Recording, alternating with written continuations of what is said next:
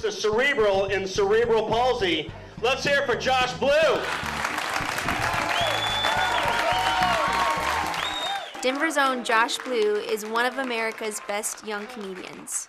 All right, thank you very much. All right. Uh, As the winner of NBC's Last Comic Standing, he has made us all very proud. We are very grateful for his help in bringing you this important information in a way we hope you'll find entertaining. Josh will be featured throughout the videos, offering his own unique perspective on the subject matter. I'm the poster boy for safety because I look like I just crawled out of a bomb shelter and survived a tornado. And while Josh's contribution is intended to be humorous, the information contained in these videos is very serious. As people with disabilities, it's extremely important that you become familiar with this vital information so that you will be prepared in the event of any disaster. These videos were designed for anyone who has a disability and those who work with, live with, or assist an individual with a disability. They contain information that can help you organize a personal disaster plan and also include plans for the care of a service animal and or pets during a disaster. The information contained in these videos is only a guideline and a starting point for the entire disabled community and is not intended to present all the specific information you should know for any one specific disability. Much more detailed information can be found at the Ready Colorado website, readycolorado.com, and on YouTube. On behalf of Colorado's Access and Functional Needs Committee, I'm Jason Regier. I'm Lucy Rucius. And I'm Chanda Hinton Likely. Thank you for watching. So, uh, safety is number one in my book because I am an accident waiting to happen. Again. Evacuations. If there's a tsunami in Denver, well, something's gone horribly wrong. Basically, what you're going to do is just put your head between your legs and kiss your ass goodbye.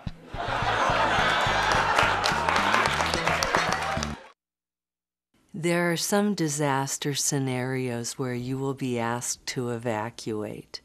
This video will address what potential disasters would require you to evacuate, and in that event, how you prepare and go about evacuating.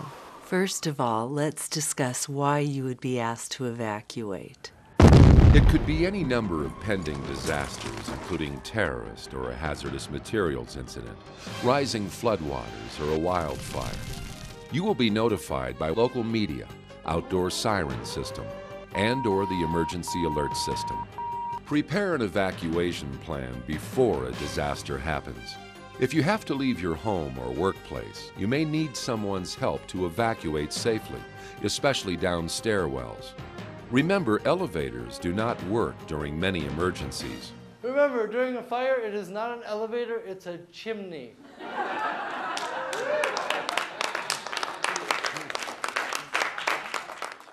If you need assistance during an emergency and your network is not available, find helpers and tell them about your condition.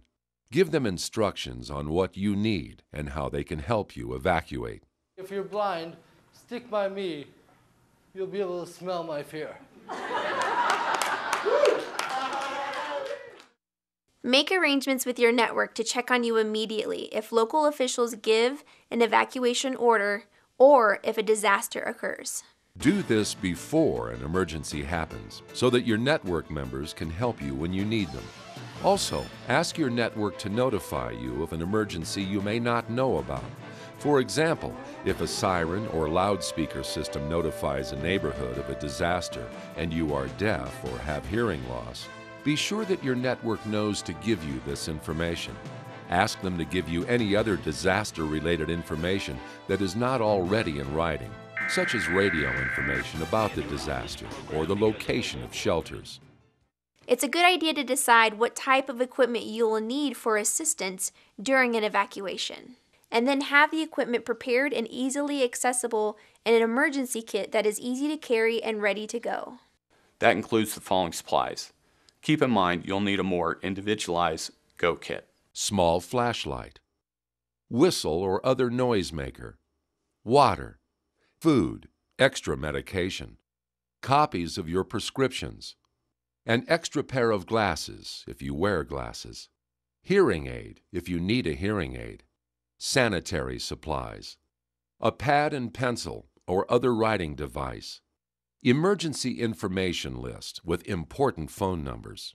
You may already have many of these items in your home and won't have to go buy them new, but take the time to put them together into one kit that is easily and quickly accessible.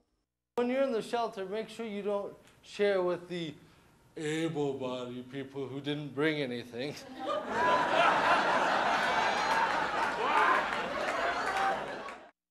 Now let's talk about what transportation resources are accessible to you. So, in case of emergency, you'll need to know what transportation resources are accessible to you. In my case, I'm gonna break out that rhino I have. If you drive, keep your automobile fuel tank more than half full at all times. Also, stock your vehicle with a kit that includes supplies for both you and for your vehicle for 72 hours. If you do not drive, talk with your network about how you will leave the area if the authorities advise an evacuation.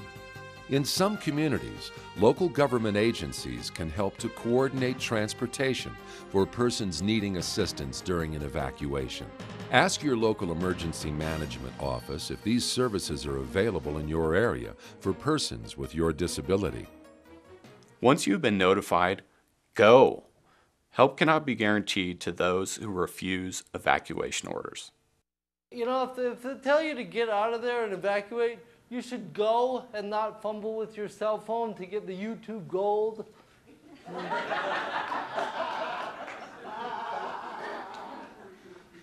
this will get 10 million hits, I promise. Ah! Here are some additional important tips about preparing for an evacuation. Become familiar with the emergency or disaster evacuation plan for your office, school, or any other location where you spend a lot of time. Practice using alternate methods of evacuation with your network. When you evacuate, follow suggested routes and don't take shortcuts. If you are going to a shelter, do not expect the shelter to have any or all of your equipment. That is why preparing and having your emergency kit is so important. Plan to communicate with family and friends and whoever else may need to be part of your plan. Remember that traditional means of communication may not be working, so plan to use other methods. Make certain your network, local emergency authorities, and shelter managers are aware of any specialized medical needs that would require hospitalization. Make sure you bring extra medication.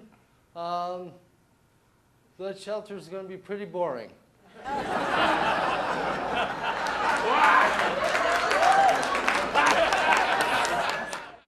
For additional information, please visit the readycolorado.com website.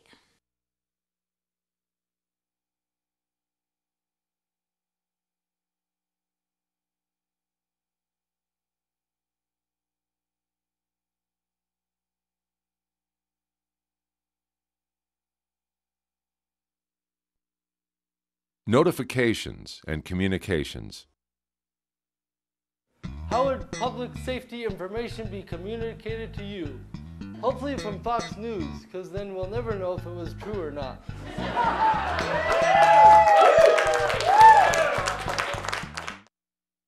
In the event of an emergency, how would you receive public safety information and how would you communicate to the outside world? There are a number of methods that are used to warn and notify people of an impending emergency. Well, my preferred method is uh, Hooters Girl. The Emergency Alert System, or EAS, is a national public warning system that requires broadcasters, cable television systems, wireless cable systems, and satellite radio to deliver important emergency information provided by national, state, and local authorities, such as weather information targeted to specific areas. You're probably familiar with frequent EAS tests on your television or radio. In the event of an actual emergency, you would be notified about the emergency in the same way as a test, but instead of a test, the announcement would provide instructions and information about the emergency.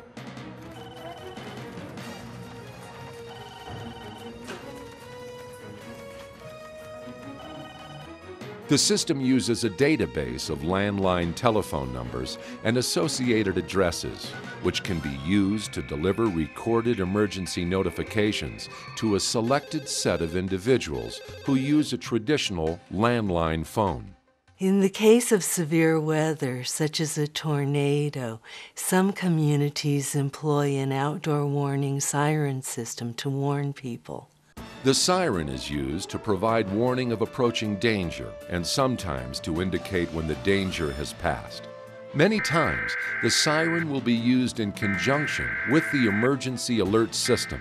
Many jurisdictions also offer emergency opt in services that allow you to choose what you would like to be notified about and allow you to choose the method of notification. Contact your local city or county to see what they currently have to offer citizens. Another method of receiving communication and notifications is by utilizing social media. In the event of a pending disaster, information would be provided on the internet and to various social media services on your cell phone, including text messaging. Many agencies across the country have already embraced tools such as Twitter and Facebook to disseminate information quickly. How you would contact emergency services. So far, we have discussed various methods of how you will be contacted in the event of an emergency. Now, let's talk about how you would contact emergency services to communicate your own emergency. 911, what's the address of the emergency? Everyone's first instinct is to call 911. But in the event of a disaster, there is a chance emergency communications will not be working or will be delayed in answering. So it's essential for you to establish a support network. Do you have a caregiver, family member, friends, or neighbors who can help to alert you, or you can assist in alerting? Who would you contact with questions or individual concerns? Members of your network can be roommates, relatives, neighbors, or friends. They should know your capabilities and be able to provide help within minutes. Make sure your members have copies of your emergency information list, medications information list, and disability related supplies and special equipment list. Arrange with your network to check on you immediately if local officials give an evacuation order or if a disaster occurs. Make sure all the members of your network have the necessary keys to get into your home. And show your network how to operate the equipment you use for your disability if necessary. And make sure your service animal is familiar with all the members of your support network. In case of a pending disaster, you will either have to shelter in place or evacuate. For additional information about notifications and communications, please visit the readycolorado.com website. In case of a blackout, is it uh, anything I should fear as a blind person? I think let's just go about business as normal.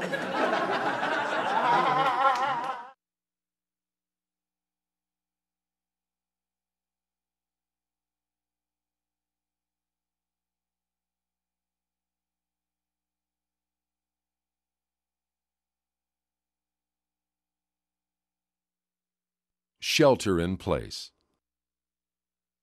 Okay, well, uh, the reason why you may be asked to shelter in place is a tornado, or a flash flood, or the Broncos lose. it would be more shocking if they won, actually, but. What exactly do we mean when we say shelter in place? Very simply, it means if there is a sudden emergency and you are not asked to or cannot evacuate, that you take shelter in your home, work, or place of residence. It could be an emergency due to a biological, chemical, radiological, or hazardous materials release, or dangerous weather conditions, such as a tornado flood, snowstorm, or even an earthquake. Earthquakes are the great equalizer. Uh, during an earthquake, everybody walks like me.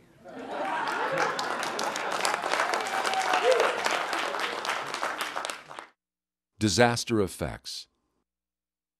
Disasters have many effects. Some are predictable and others are not. You should know what can happen and what your environment may be like after the disaster. Here's some basic but very important information to keep in mind. In disasters that have high winds and during earthquakes, a great deal of shaking may take place. This can break things and scatter debris. Hanging objects such as plants, mirrors, and pictures are likely to fall. Large and heavy furniture such as couches, chairs, beds, and dressers may move and block your pathway completely or in part. There could be so much debris on the streets that it would take weeks to clear it away. This could leave you stranded at home and keep caregivers from reaching you. If you have a service animal, such as a guide dog, the animal may be hurt or too frightened to work after a disaster. Your home may be destroyed or isolated, or it could have enough damage to make it unlivable for a long time. Your usual ways of getting groceries, medications, and medical supplies may be disrupted. It may take several days before stores reopen or have the right supplies for you. So you may not be able to readily replace even basic items related to your disability, like hearing aid batteries and prescription medications.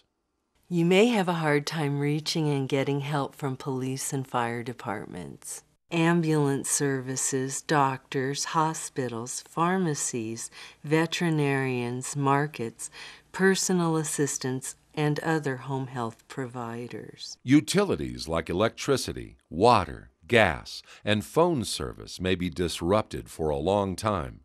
You may not be able to do the following cook, cool or heat your home, make or receive phone calls, light your home, Receive emergency information from your television or radio. Use equipment dependent on power, such as battery chargers, oxygen, suction devices, or home dialysis equipment. Support Network because many people with disabilities depend on a support network in normal situations, it's that much more important to have this type of support network in the event of a disaster. Here is some basic information about support networks. Members of your network can be roommates, relatives, neighbors, or friends. They should know your capabilities and be able to provide help within minutes. Make sure your members have copies of your emergency information list, medications information list, and disability related supplies and special equipment list. Arrange with your network to check on you immediately if local officials give an evacuation order or if a disaster occurs. Make sure all the members of your network have the necessary keys to get into your home. And show your network how to operate the equipment you use for your disability if necessary. And make sure your service animal is familiar with all the members of your support network. For additional information on support networks and preparing for your individual emergency needs, please visit readycolorado.com. 72 hour emergency kit. In case of emergency, you have to have a 72 hour kit of preparedness. Uh, things that you might need. Like um, for me, I would bring beer.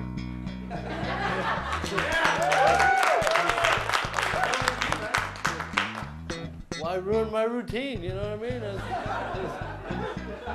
It's, it's gone 15 years without missing a day of beer. It's, no tornado's gonna stop that, right? As with any shelter in place emergency, you will need your 72 hour emergency kit, personalized with your individual needs. Regardless of your disability, every emergency kit needs the following supplies small flashlight, whistle or other noise maker, water, food, extra medication, copies of your prescriptions, an extra pair of glasses if you wear glasses, hearing aid if you need a hearing aid, sanitary supplies, a pad and pencil or other writing device, emergency information list with important phone numbers. You may already have many of these items in your home and won't have to go buy them new, but take the time to put them together into one kit that is easily and quickly accessible. You will need additional supplies depending on your particular disability. For additional information on what disability specific supplies you will need, please visit the ReadyColorado.com website. Power requirements. With any emergency, a loss of power can happen and should be expected. This means loss of power for your lights, heating, air conditioning, medical devices, and your refrigerator. So it's essential that you have alternative sources of power, which means extra batteries or a portable generator. Of course, we're not recommending that you have alternative power sources to power everything in your house that needs power. Only the essential items, such as a light or your medical devices like oxygen. If you have medication that requires refrigeration, make plans to have a portable battery operated cooling device to keep your meds at the proper temperature. An online search will provide you with links to several manufacturers of these kinds of devices. If you use a battery operated wheelchair, life support system, or other power dependent equipment, discuss with your power company the type of backup power you plan to use. Am I able to have alternative sources of power? Um, I can make methane gas at the drop of a hat.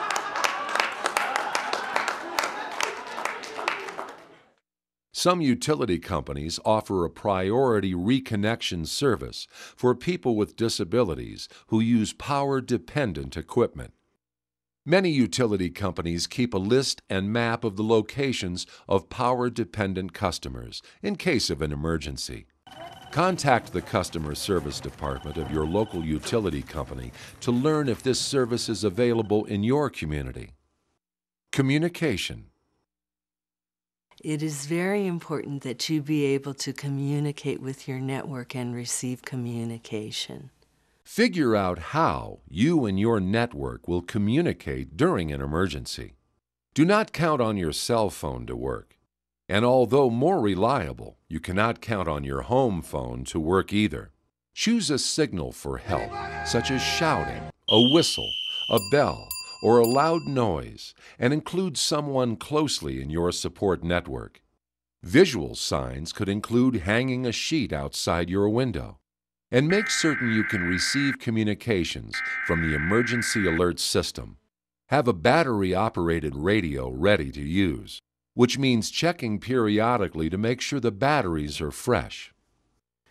It is also recommended that you have a NOAA weather radio with accessible editions, which can be purchased at some local grocery stores and most large national retailers where other emergency supplies are found.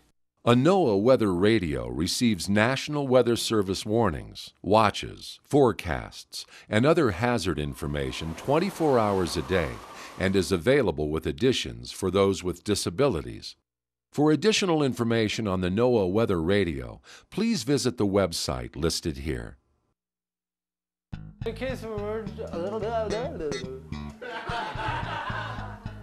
do you say that?